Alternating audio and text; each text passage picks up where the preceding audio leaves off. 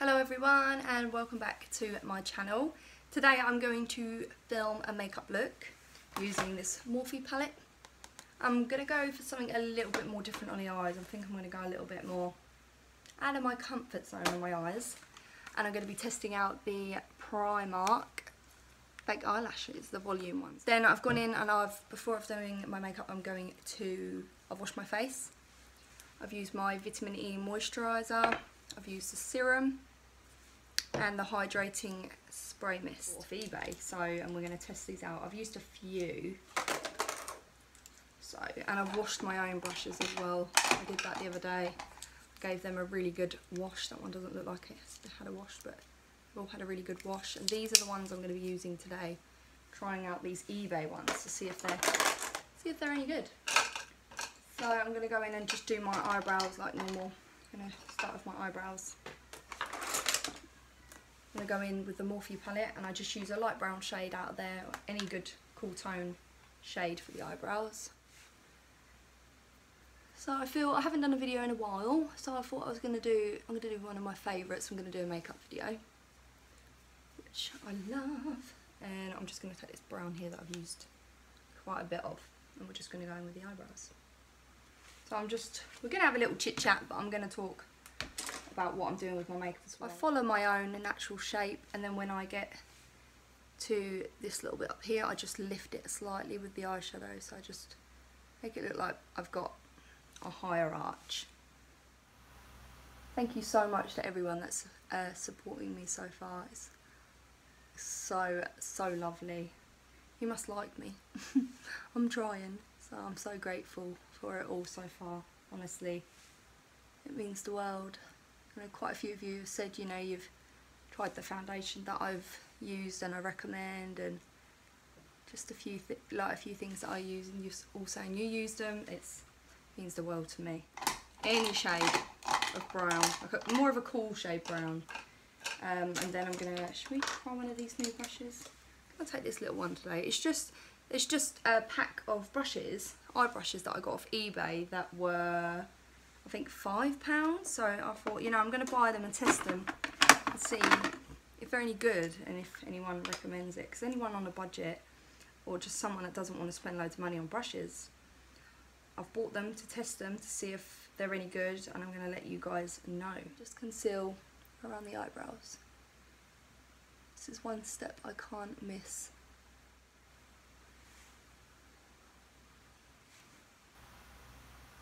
I've got a damp beauty blender, it is clean. I know it looks filthy, but it's not.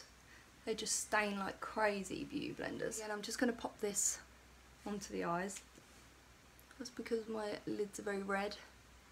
We want a nice even base to do our eyeshadow on. And today I'm not going to set my eyelids. So I've watched a few makeup tutorials on people that I love on YouTube and I've noticed a lot of them have not set their concealer. And they find, they, they say when they come to doing their eyeshadows that it blends a lot better. So we're going to test that today. A fluffy buffing brush. So I'm just going to, let's test out these brushes, see if they're good. So the first colour I'm going to go in with, this is really dirty but it's very well loved. I think my transition shade, I'm going to go in for this one down here. Whoa, when you don't set it, it's so much more pigment. Wow. Jeez Louise. That's good. So yeah, don't don't set don't set your concealer on your eyes when it comes to doing your eyeshadows just anymore. Again with the other eye. So I know when I when I do my eyes, I, I, I do play it quite safe. I do play it quite safe, so I'm going to try and do something a little bit more different on camera.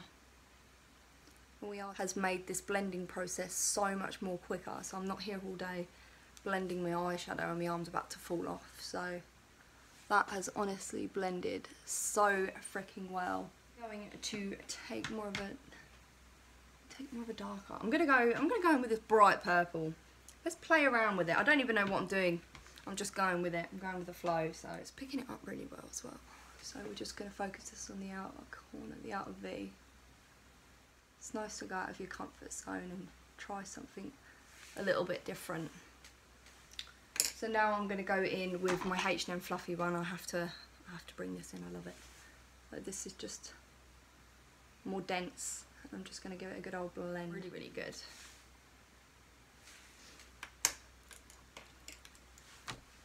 Let's do a little cut crease as well. I'm just going to take my NYX concealer pot again and the same brush that I carved my eyebrows out with.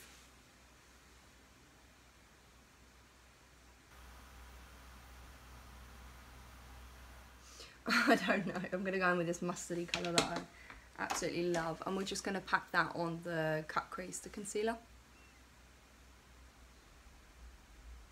I think these colours work really really well together as well. I'm just going to go back in harsh edges.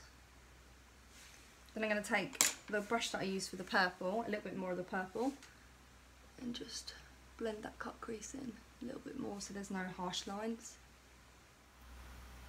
Let's try wetting the brush. I'm just going to take my hydrate, hydrating mist and I'm just going to wet the brush because you can get a lot more pigment that way if you wet the brush. So,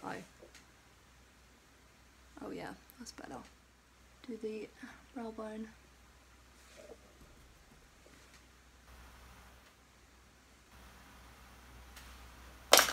Then, should we do a wing? Should we do a wing as well? So I'm going to take my Super Cat do a wing. And before we do that, and I'm just going to wipe the mess away. Same on the eye. It's amazing. People need this, it's so good. I'm going to start this side I think.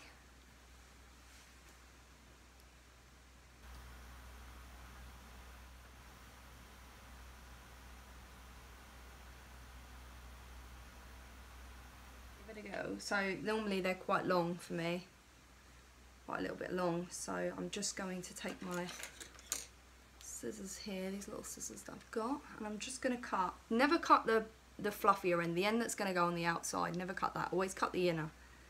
The inner side. I've not really spoken much in this. But when you do your makeup, I don't know if anyone finds this.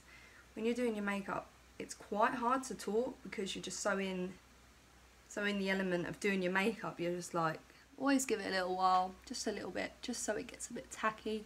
And it makes it um, easier to apply if you just let the glue dry a little. Go onto my face, give them a little bit. Then I'll put the mascara on. So I give I let them dry. Then I'll put mascara on. So I'm going to use my favourite, as I always use, my Maybelline New York foundation.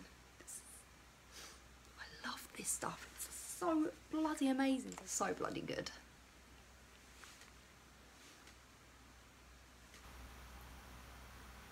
Few squirts around my face. To a, to a lot of people that might be a lot. But to me, it's never a lot. Just gonna go in with my beauty blender. Like that. And it said, I think it's, how long is this one? So you can get, yeah, it's a 24 hour wear. Never worn my foundation for 24 hours. But sometimes I can averagely have makeup on for about 10 hours and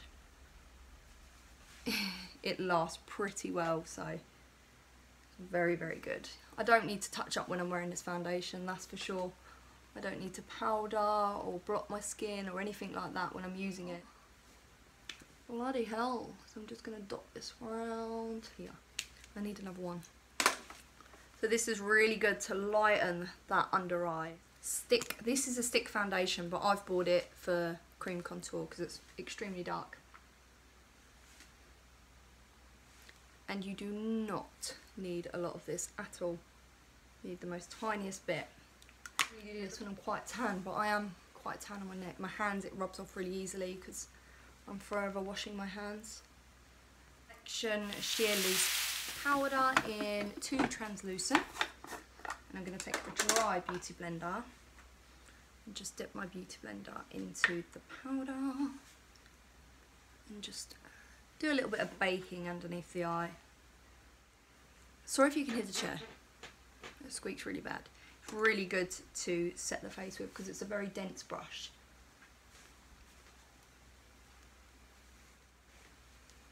And I know in a lot of videos I use quite a few, like quite a lot of the products are the same, I know, but I can't, I can't, I can't help myself. If I love something, I'm going to use it forever, that's for sure. For sure, try more different products, so keep your eye open for that.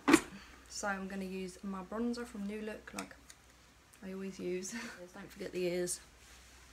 You do not want your ears a different colour.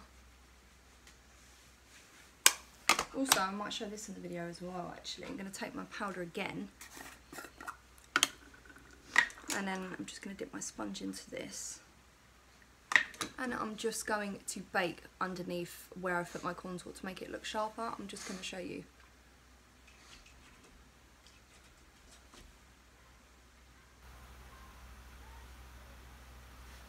Just like so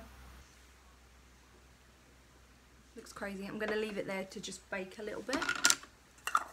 Baking is basically another word of setting something. You're setting it even more than, like if you used a brush, you'd just be setting it.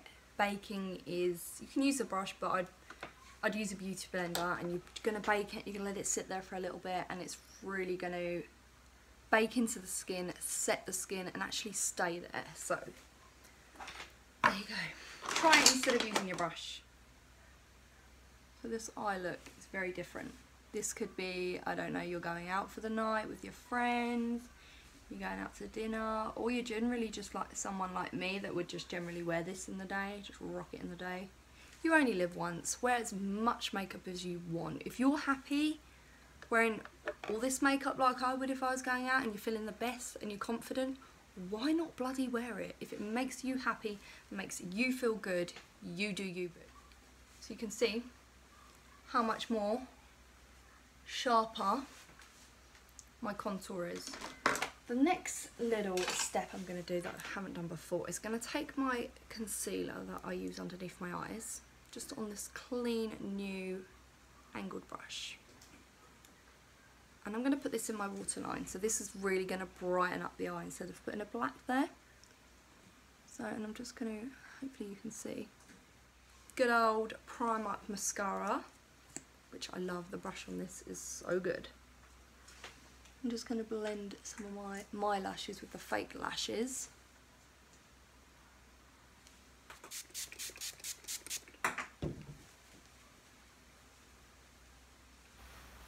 I'm going to go in with my Real Techniques highlighting brush with the Urban Decay Afterglow highlighting palette. And let's add some highlighter. Look at that highlighter. Oh my god. Is it in the shade Toast? Toast, I think. Just this really nice brown. If there's something too harsh on your lips, like a red, is going to take all the hard work that you've done in your eyes straight to your lips almost. So, you know, you don't want your lips to be the centre of attention. You want your eyes that you've worked on. So I'm going to go Palace one in the shade Dead Lips 210. I'm going to go in with this one, just this one here. I'll remove the tripod. Is the finish makeup look. So overall, I am pretty impressed with the eyelashes. They do keep coming up a little, I will admit. But that's probably because the eyelash glue that it comes with is pretty rubbish because it's the Primark glue. So pretty impressed with how it's all turned out.